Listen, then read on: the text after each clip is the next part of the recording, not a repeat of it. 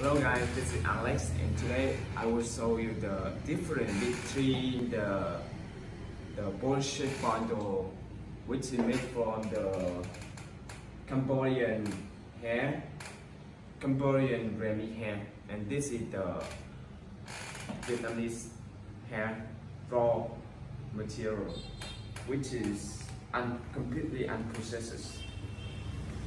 Have me take a closer look.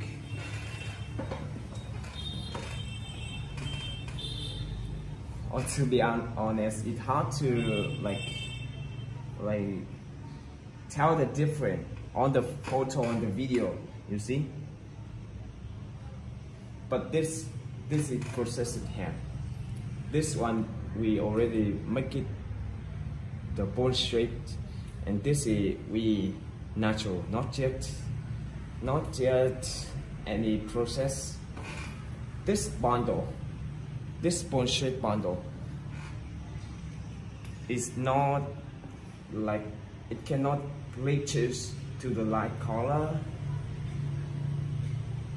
And the, the smell, to be honest, is it's not very good, but it's soft and smooth. And the raw material from single donor Vietnamese hair. Very soft and smooth. For this bundle, you can see the single donor. There is, we already, this is natural, but you can see where the hair, no hair, right? And look at the hair strength here, how soft it is. And from this bundle, we can totally bleaches in any color, like the, the light color. This is the color 60 ash, and this is color 60. Very soft and smooth.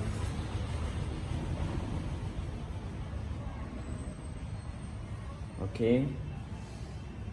Uh, come here let me show you about the, the natural wavy bundle. This is over 40 inches natural texture, the wavy bundle. You can see the texture and the hair shape.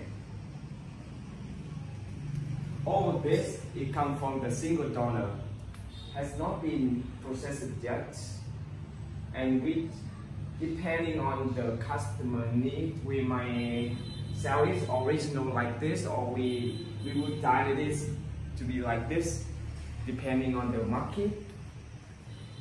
Uh, we can make a lot of texture, but I really love our original Vietnamese hair. Very soft. Thank you for watching Anbi.